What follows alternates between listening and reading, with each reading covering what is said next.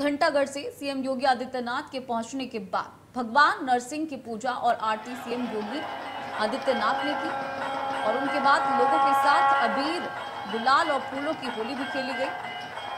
और सब दौरान होली खेलने के दौरान सीएम योगी आदित्यनाथ के चेहरे पर खुशी, साफ़ नज़र आई। तो तस्वीरें जो कि गोरखपुर से आ रही हैं। सीएम योगी के गोरखपुर दौरे का ये तीसरा दिन है। और नरसिंह शोभा यात्रा की सीएम ने शुरुआत की और देखिए, नज़ारा देखते ही बन रहा है, जहाँ सीएम योगी आदित्यनाथ रथ पर सवार होकर पहुँचे और उनके चेहरे पर एक अलग ही तेज, एक अलग ही खुशी नज़र आ रही थी होली की। गोरखपुर की तस्वीरें हैं, जहाँ बहुत ही खूबसूरत तरीके से होली का कार्यक्रम रखा गया। सुशील हमारे साथ जुड़ गए हैं, इस खबर पर ज़्यादा जानकारी के साथ सुशील बहुत ही बढ़िया कार्यक्रम किया गया। योगी आदित्यनाथ वहाँ पहुँचे। उनके चेहरे पर भी काफ़ी खुशी नज़र आ रही थी। क्या कुछ अपडेट है? जानकारी है, तमाम विस्तार से जानकारी चाहेंगे।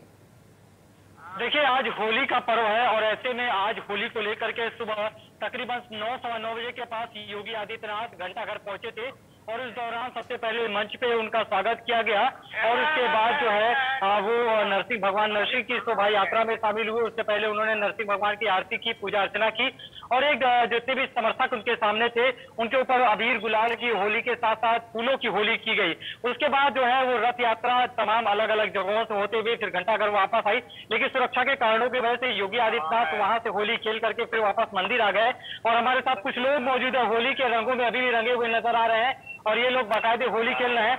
ये बताइए होली का पर्व है योगी आदित्यनाथ ने भी जम के होली खेली किस तरह का क्या मानते हैं और कैसा होली लग रहा है आपको? देखिए ये होली हमारे लिए स्पेशल है। 2022 में जिस तरह जनता ने बहुमत दिया है उसका बहुत बहुत शुक्रगुजार है और महाराज जी के लिए ये बहुत बड़ा पर्व है।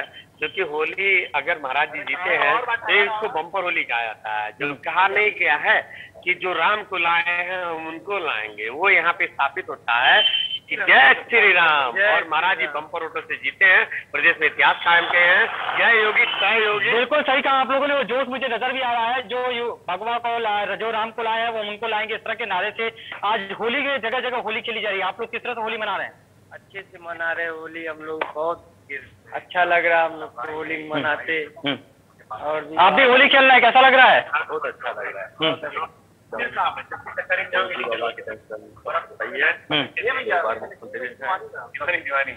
तो आपने देखा कि किस तरीके से होली के त्योहार के होली के पर्व को ये लोग बखूबी निभा रहे हैं? अबीर गुलाल उड़ा करके एक दूसरे से होली की बधाई दे रहे हैं और साथ ये भी कह रहे हैं कि जो राम को लाए हैं हम उनको लाए हैं।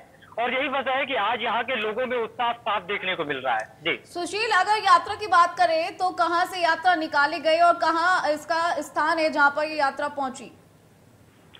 देखिए, ये पूरी यात्रा घंटाघर से निकला है। घंटाघर से होते हुए हासूपुर लाल डिग्गी घसी कटरा होते हुए, बैंक रोड होते हुए, रेती चौक घोष कंपनी होते हुए वापस जो है ये गीता प्रेस होने के बाद सीधे घंटाघर वापस आकर के विसर्जित हुआ।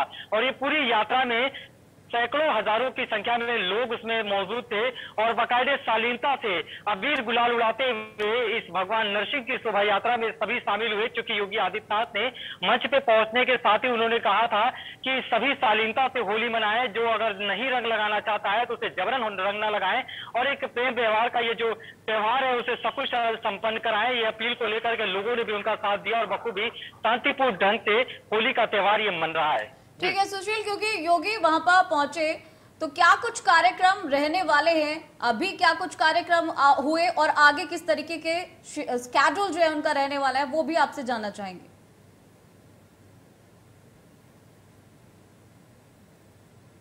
सुशील। तो सुशील से एक बार फिर से संपर्क साधने की कोशिश करेंगे। फ़िलहाल आपको बता दें कि योगी आदित्यनाथ यहाँ पहुँचे और यहाँ बहुत ही भव्य कार्यक्रम रखा।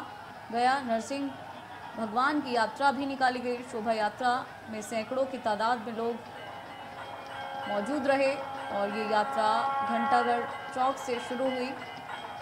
जगह जगह जाकर होते हुए अपने गंतव्य स्थान पर पहुँची और यात्रा में सैकड़ों की संख्या में लोग शामिल हुए। यहाँ आपको बता दें कि अगर योगी आदित्यनाथ के कार्यक्रमों की बात करें तो यहाँ कुछ उत्सव रखे गए हैं। अभी फगुआ को लेकर भी कुछ कार्यक्रम रखे गए हैं। वहाँ वो शामिल होंगे। शाम को भी कार्यक्रमों में शिरकत करेंगे। गोरखपुर से प्रदेश को योगी आदित्यनाथ ने संदेश दिया। सीएम योगी के गोरखपुर दौरे का ये तीसरा दिन है और ये खूबसूरत तस्वीरें आप देख रहे हैं। जहाँ सीएम योगी आदित्यनाथ इस कार्यक्रम में पहुँचे, जहाँ होली उत्सव मनाया गया और नरसिंह भगवान की जो शोभा यात्रा है, वो भी निकाली गई। गौरतलब है, ये तीसरा दिन है योगी आदित्यनाथ का गोरखपुर में। यहाँ